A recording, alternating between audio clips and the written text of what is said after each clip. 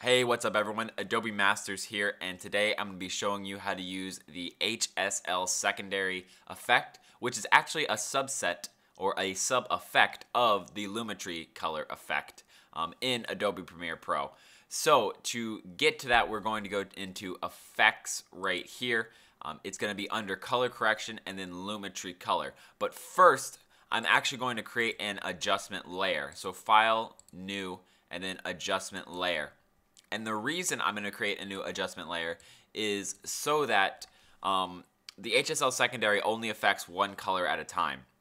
So to affect multiple colors, you either have to create a bunch of different adjustment layers and attach Lumetris to them, or stack the Lumetri colors on top of one another inside um, your file or your adjustment layer. I'm going to want to, I'm going to try the stacking method, but I don't want it all to be stacked on my video. I want it to be stacked on top of an adjustment layer so that when I need to do video effects, they're there, and then my color effects are in its own separate layer. So yeah, just create an adjustment layer and throw it on top, and then anything you do to this is going to adjust everything beneath it. So now we can go back in here, we can go find Lumetri color right here, and drag it onto the adjustment layer, not the footage, the adjustment layer up here. It's gonna pop up right over here the adjustment layer. And then, so now we've um, gone through all of these in a previous tutorial. I'll link that right here if you want to watch that. But I did not go through this one because it's just a little bit more advanced and I wanted to have a full episode to kind of describe it. So what it means is hue, saturation, and luma secondary. Um, so here's your hue, here's your saturation, your luma. Hue is the color of it, so, you know, just the color wheel. Uh, saturation is how saturated it is, and luma is how bright it is. So the left side is black, the right side is white, and then in the middle you have your color going from really dark to a really bright of that color. And so you got a couple buttons around here. Um, the first one you want to do is, so if you're wanting to switch around a color, is you need to set that color. So for example, we have, let's see, um, let's try to change the purple on these. And remember, this is a correction tool, so it's not going to do the best at like manipulating colors entirely. So turning this purple to a blue will be a little bit difficult, but I can affect the shade, the tone, and the hue kind of of that purple, and even transition it to kind of the side colors. So um, maybe into the, the darker blues and the kind of the red to pink areas. So yeah, let's just get started. Let's click set color and then try to find a good spot that kind of incorporates all of the purple you're trying to go for. So I'm going to go in this middle, the deep blue. And then if you click this little saturation button right here, it is going to show you all the gray is the stuff it's not affecting, and all the color you see is the stuff it is affecting. So to grab a little bit more of the image, you take these and you actually stretch them out. So right now it is grabbing everything from this hue to that side, from this saturation over, and from this luma over. So that's what we're seeing right now is the combination of this hue, saturation, and luma, and now we have control over those three objects. So, however, let's make it grab a little bit more of the purple. So we can drag this out and extend it.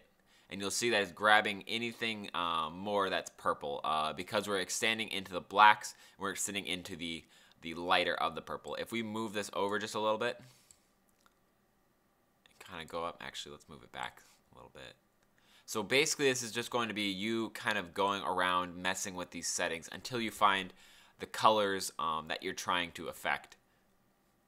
And if you see like in After Effects, you could just click on the color and change color too. And it actually has a really advanced algorithm that would change the color for you. However, that's not our end goal. We're trying to manipulate the color, not change it entirely. So I think that we have a, a good deal of our flowers there. So let's undo, redo. Yeah, we are, I mean, we're definitely missing some of it, but it'll still work pretty well. Um, refining the mask takes time and just takes a lot of skill and figuring out, you know, what you want to do and basically learning from the past of how, what works best. So we're going to stick with that mask and then we're going to go in here. And so once you have the mask set, you can then go down here into correction.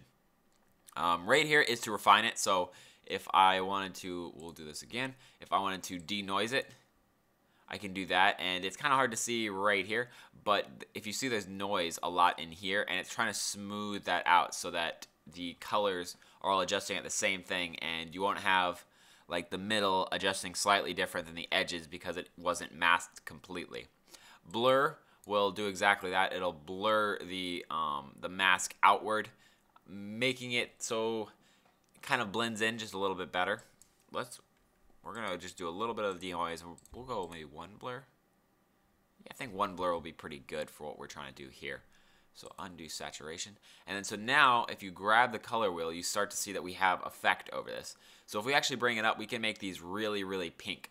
Or we can drag down into the blues and it'll actually make them really purple. If you see, it's very hard. Um, we're not manipulating the color entirely. So like if I go over here into the green, it isn't becoming green. It's just pushing it more towards green.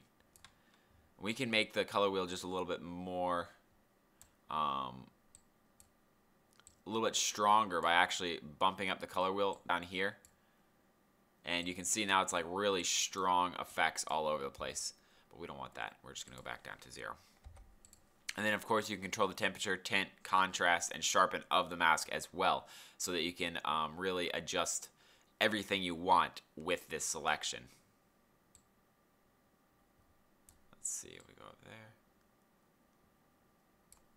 So yeah, um, so let's see. Let's let's just grab a cool color here. Let's.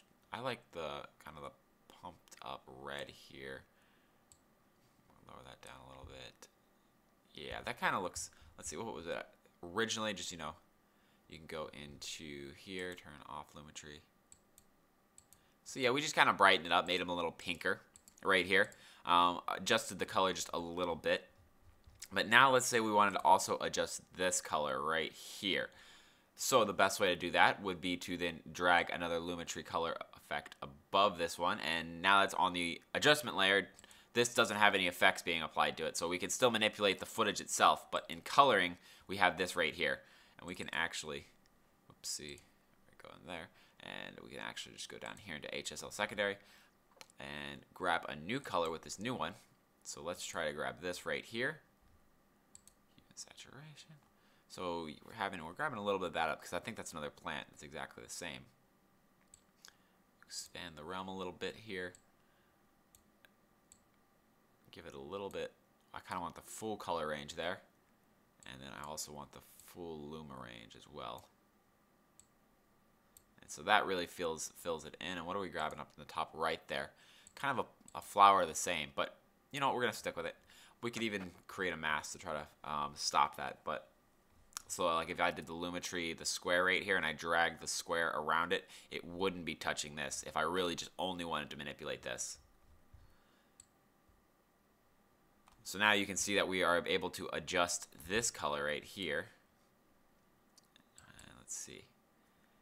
That gives it a kind of an interesting blue tint to it. Ooh, that actually looks... Adding green makes it actually look pretty pretty awesome. Let's see, let's go into Lumetri color. Oh, so the second one was the top one right here. So yeah, we adjusted the color right there and right, so like.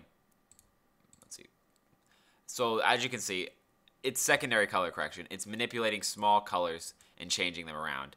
And so with a bunch of these or with really defined colors, you can get some really awesome effects out of it.